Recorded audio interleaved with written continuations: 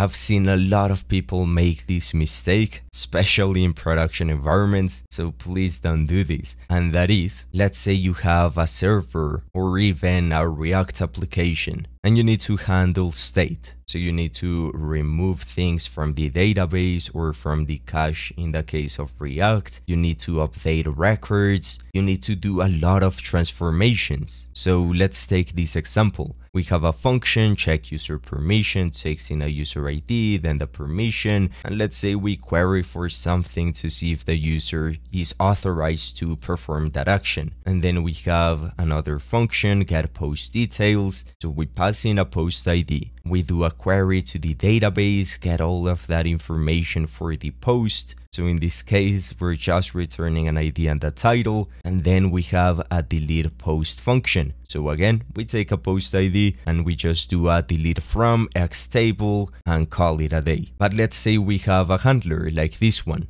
So we take in the request, we take in the context, which again is a session with a user ID. So we have a middleware somewhere that is going to retrieve the session from the authorization header and it is going to give us back the user ID that pertains well to that particular session. So here all we do is retrieve the post ID. So we say url.search the post ID. Then we retrieve the user ID then we check if the user has permission. If they don't have permission, we just return a new response that is 403, which means forbidden. Then we get the post details. We pass in the post ID and we check if the post exists. If there is no post, we cannot delete a post, so we return a 404 post not found. And finally, we have delete post, but we pass in a user ID. Now, as far as TypeScript is aware, delete post takes in a number and user ID is a number. So this is completely fine. But what if your database has auto-incrementing integers for the IDs? Now you could potentially be passing the user ID, let's say 8,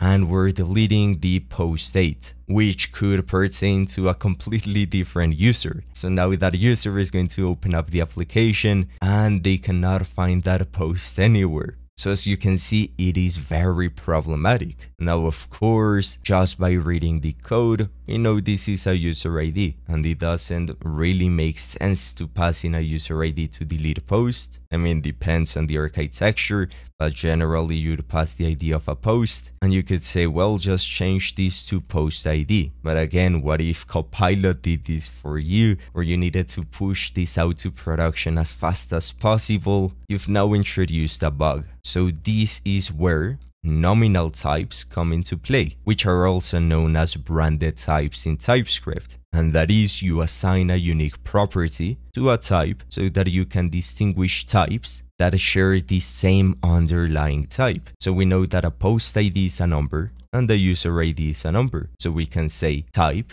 user ID is equal to number and then at the type level you add this unique property. Now you will not be able to access this in the runtime because you're not assigning this property to a user ID. But as for the type level, it is going to be really useful. So now you can say user ID, post ID, and then you can replace the user ID like this. You can use the post ID in these two functions. Now here in the user ID, this is going to be again a user ID. And by doing this, if I scroll down, we're now getting two errors. We're getting an error here saying post ID is not assignable to parameter of type post ID. And why? Because post ID is just a number. It doesn't contain this property. So what you need to do in this case is say this is going to be a post ID. So now you have asserted this. Now you need to make sure that this is true. And now we get rid of the error. But now here in line 54, we're getting an error because, well, the types do not correspond. We have a user ID and we're trying to pass it over to a post ID. So now it's very easy to see where we're going wrong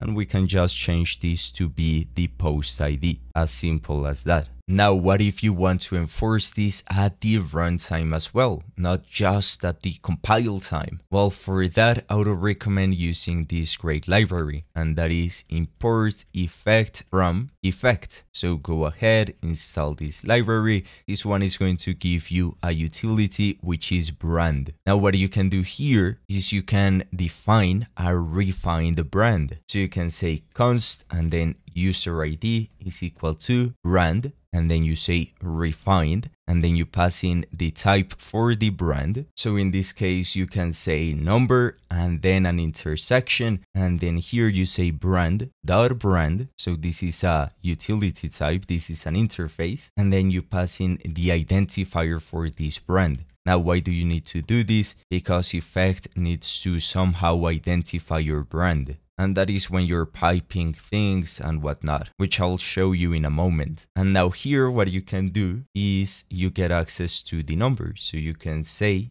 First of all, number must be greater than zero because it is an auto-incrementing integer. You know that it is going to start at zero. And in the case that it is not valid, you get not valid or invalid number. And then you can say brand dot error and then you can pass in a custom error, whatever you want. So this is the on failure. So you can say invalid number is not a valid user ID. And now we can get rid of this type, but to extract the type, you can say user ID and then you can say brand dot and then you can say from constructor and then you pass in type of user ID. So now you have the type level for the brand and you have the runtime brand. So we can do the same for the post ID. So const post ID, we do the same, and then we use from constructor and assign the type. Now, how can you use it in the runtime? Well, for that, you can say const post ID,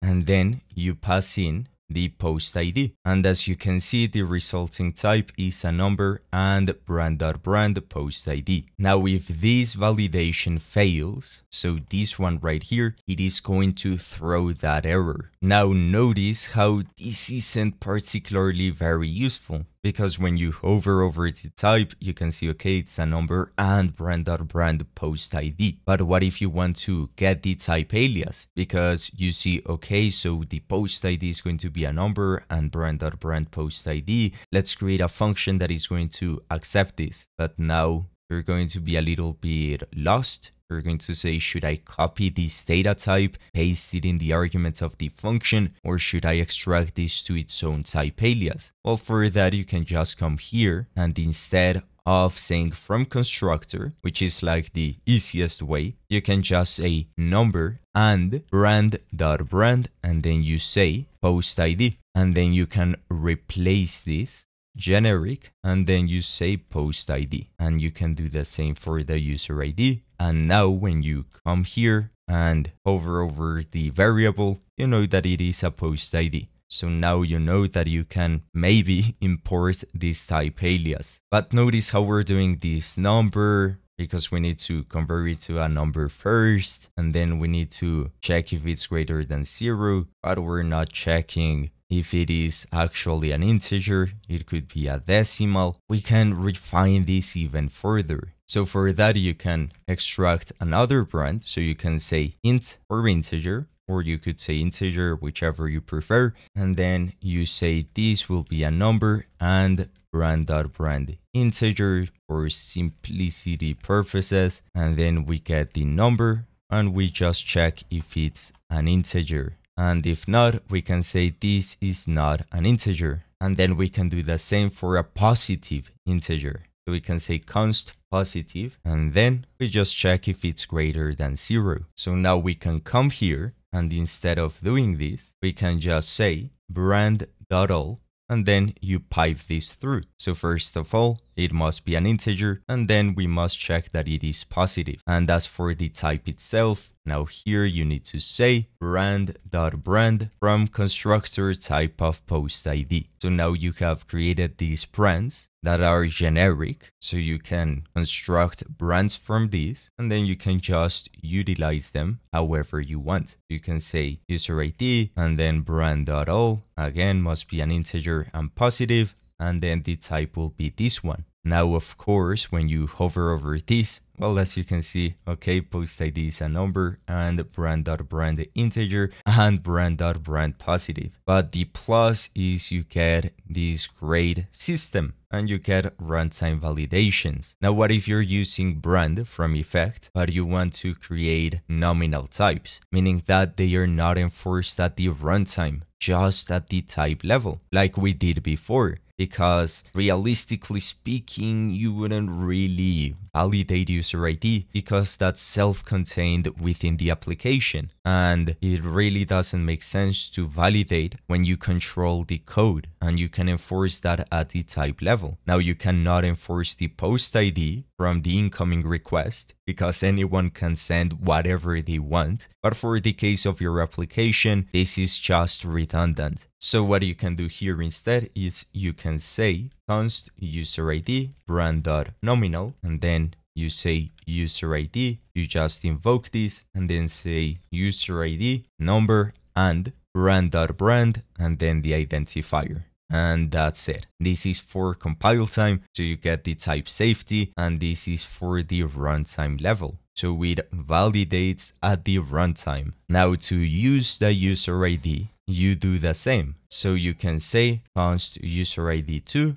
and then you just say user ID, pass in a number, and you get back a user ID. As simple as that. Nothing too crazy. Now, what about the client side? Let's say you want to have a schema, like a Zod schema, and you need to validate the incoming data. How can you create a brand from the validated result? Well, if you use Zod, you could create a schema, say powers or save powers, but then you need to map over the result and you need to replace the, say, the user or post ID with the brand with the nominal brand. So to avoid that, Effect actually has a module for schema. So you can say effect and then it's at effect and then schema. So you need to download these separately and this one brings you over schema, which is everything that you see here. So it has a lot. Now if you fetch this endpoint, it is going to give you back. So response, it is going to give you back an array of ID, which I believe it's a number, then to do, which is like the description, then completed, which is a boolean, and then a user ID, which is a number. And then a total, which is number. This is for pagination, skip, and limit. Now you need to convert this to a runtime schema. How can you do that? Well, for that you can say const response schema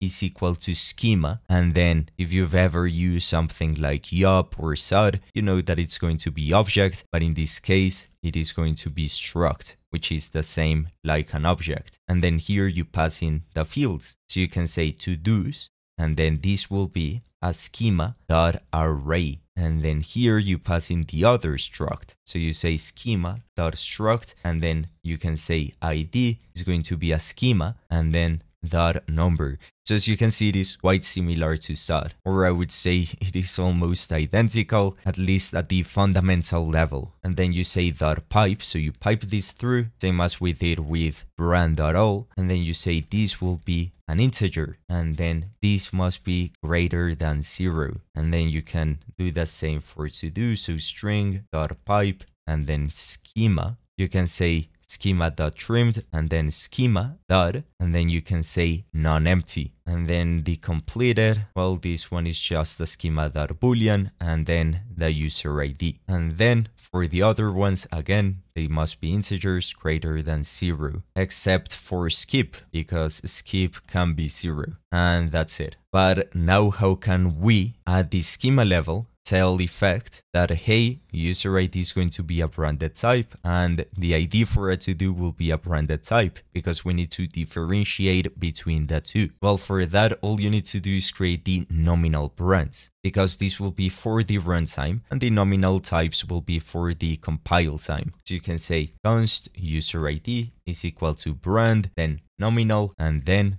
type user id we can say number and brand dot brand and then you say this will be a user id and then you can pass in the user id here. And then what you need to do is pipe it through again. So you can say schema dot brand. And this is actually from brand not brand. And now when you parse this you're going to get back not only well the integer greater than zero but also the branded or rather the nominal type, but well, this is for the runtime. And you can do the same for a to-do ID. So you can say to-do ID and then number and brand.brand to-do ID, and then you say nominal, and then you can come here to ID and just say schema dot from brand and then to do ID. As simple as that. Now, how can you get back the data, which is very important? Well, for that, you can just say schema and then you say decode unknown. So this is not parse or safe parse. This is decode unknown because you're decoding something and that something is unknown. And then you pass in the schema. So you say response schema and then here you can pass in some extra properties. So you can pass in errors and an onExcess property and this is a union of error, ignore, or preserve. So if there is an excess property, we'll just throw an error basically. In the case of ignore, that means remove them. We only want those defined here in this schema. And in the case of preserve, we'll leave them be. We obviously do not get any type safety for those extra properties, but we still have them within the object. So in this case, we can say ignore. And now when you invoke this, it is going to, well, return a function. That's why we're invoking this again. And then you can pass in the data that you want to parse. So you can say test and then a string. And then you have some override options. That is, if you want to extract this into its own generalized parser. So you can say const parse or decode response schema from unknown. And then you can say schema.decode unknown. You do this, and then you can come here and say decode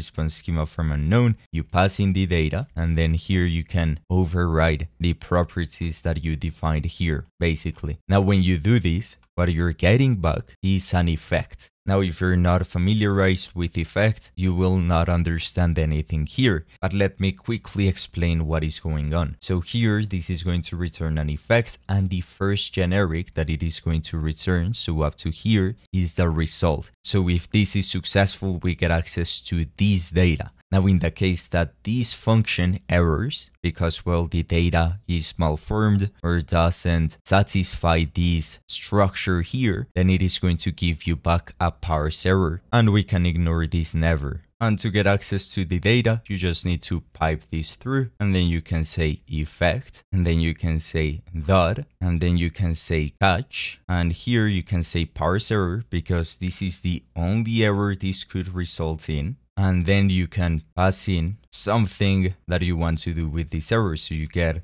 the error here. But in this case, let's just say, okay, we will succeed with null in the case that this fails. And then we can say effect dot run synchronous. Although I'm not entirely sure if this is somehow considered a promise, we would have to run this code. Anyway, result is equal to this. And if we take a look, we get a read only. So that's great. We're promoting immutability. And as you can see, the ID is a brand of to-do ID and the user ID is a brand of user ID. And well, this could be null in the case these errors basically. So we can have a function and say print or get to do, and then you can say ID, you can say to do ID, and then if you say if result is different from null, then get to do, and then result dot to do's at zero, and then you can say ID. And as you can see, we get no error here. But if we change this over to a user ID, we get an error because the brand doesn't satisfy this brand type. Now, just like Zod, you can get access to the error and you can say error dot and you get the cause, the message, the name, you get everything, which is great. And you get full type safety because as you can see, when we're piping through this effect, we know that it can result in a parse error. So we get full type safety here. And this wraps up the video. If you want to learn more about all of these concepts and advanced techniques in TypeScript, make sure to subscribe. I'll see you in the next one.